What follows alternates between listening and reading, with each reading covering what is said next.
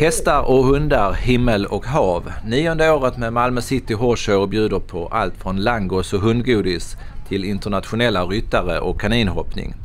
Hoppningens förbundskapten Maria Gretzer är förstås på plats på ribban i Malmö. Ja, det är ju jättehäftigt. Det är, framförallt tycker jag det är otroligt vacker plats och mysigt med havet och jätte, jättefin bana. Framförallt är det ju väldigt kul och man når ut kanske till en annan publik.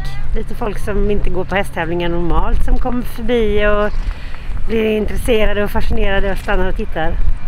Sen vet jag att eh, du och Sydsvenskan TV ska göra någonting tillsammans i sommar. Berätta! Ja, vi ska göra Sydsvenskans ridskola. Fem avsnitt tror jag det ska bli. Och eh, då ska vi vända oss till en bred publik. Kanske inte helt nybörjare, inte proffsryttaren, utan ja, de som håller på med det här lite som hobby och vill komma vidare.